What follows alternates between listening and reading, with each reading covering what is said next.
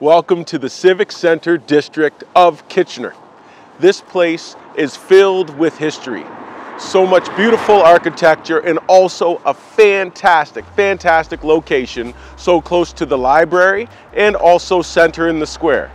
Might I be able to show you a chance for you to own your own piece of history.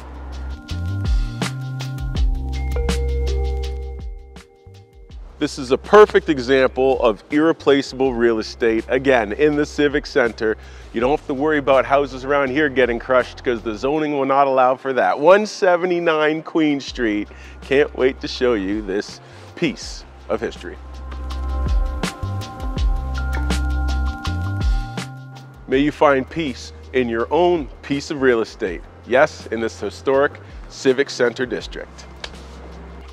So coming off of the covered front vestibule is also your own cute foyer leading in to your own powder room.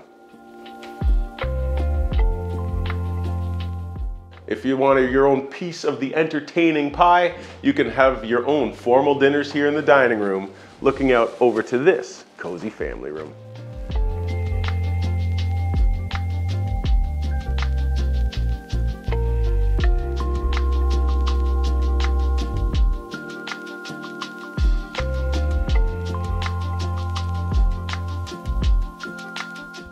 And you'll find yourself perfectly at home in this fantastic updated kitchen, pot lights galore, plenty of space to cook, and some beautiful heritage details. Moving out to the backyard patio area, great for barbecues, sitting out under the stars, and having a lovely fire.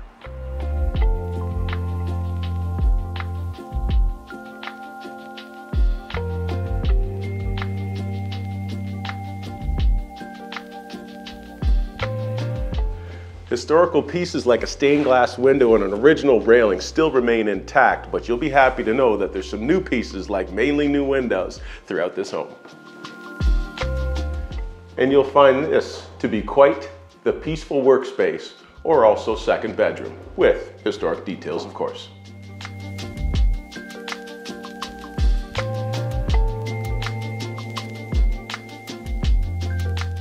And just off the primary bedroom, with its own walk-in closet, you'll find yourself easily at peace in this lovely spa-like bathroom. Many updates included.